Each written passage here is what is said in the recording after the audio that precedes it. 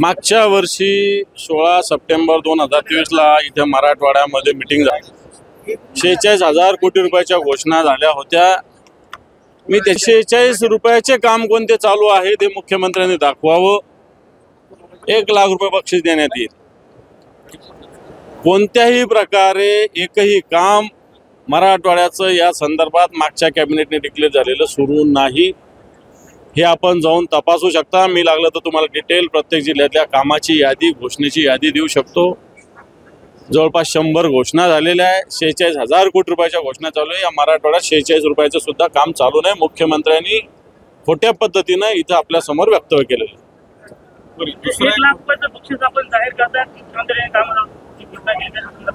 बिलकुल बिलकुल. जे शेहेचाळीस हजार कोटीचे काम डिक्लेअर केले सोळा सप्टेंबर दोन हजार तेवीस रोजी त्यातलं एक तरी काम चालू आहे का? दाखवा एवढंच माझं आव्हान त्यांना. दुसरा मुद्दा नाही? मराठवाड्याचं जे शेहेचाळीस हजार कोटी रुपयाची जर निधी त्यांनी जाहीर केला होता त्याच्याविषयी सुस्पष्टपणे श्वेतपत्रिका जाहीर करा.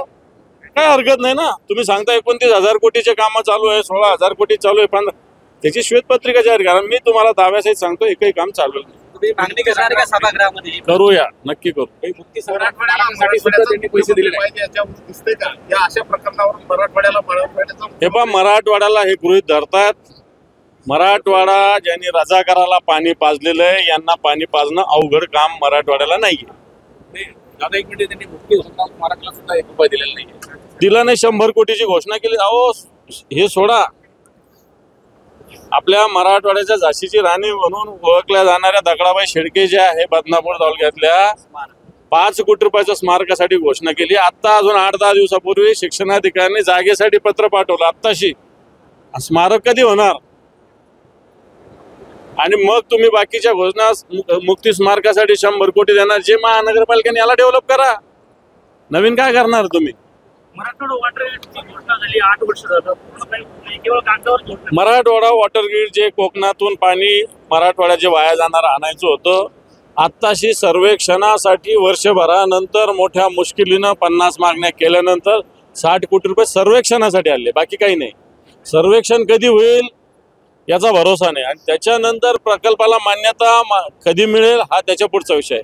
म्हणजे या मराठवाड्याला किमान दहा वीस वर्ष हे पाणी मिळू नये अशा प्रकारच्या सरकारचा मनोदय दिसतो. मराठा आरक्षणावर जेव्हा मुख्यमंत्र्याला विचारलं त्यांनी त्यावेळेला विरोधकांवरती आरोप केलेला आहे की चौऱ्याण्णवपासून यांची सगळ्यांची सत्ता होती मात्र आतापर्यंत त्यांनी मराठा समाजाला आरक्षण का दिलं नाही याचा सुद्धा जाब विरोधकांना विचारला पाहिजे असं मुख्यमंत्री.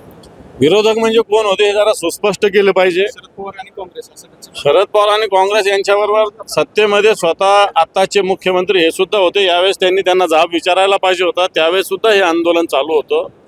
या सरकारने आम्ही प्रश्न सोडवतो म्हटलेले या सरकारने जरांगे पाटलाच्या आंदोलनात सामोरं गेले या सरकारचे मंत्री दहा दहा वेळेस जरांगे पाटलाला भेटलेले.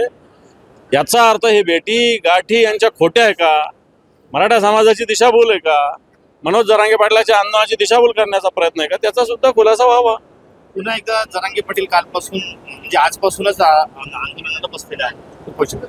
नाही त्याचं आंदोलनाची दखल सरकारने घेतली पाहिजे. सरकार नुसतं आंदोलन आंदोलनाची एक महिन्याची मुदत देतात पंधरा दिवसाची देतात तेरा तारीख देतात वीस तारीख देतात होत काहीच नाही ना. सरकार मी सांगतो काय जरांगे पाटलाच्या आंदोलनाची दखल सिरियसली घेत नाहीये. ही घेतली पाहिजे.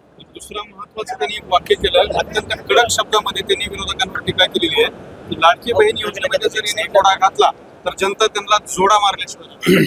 मला असं वाटतं लाडकी बहीण योजना करत असताना या राज्यातल्या माता भगिनीचं संरक्षण महत्वाचं आहे.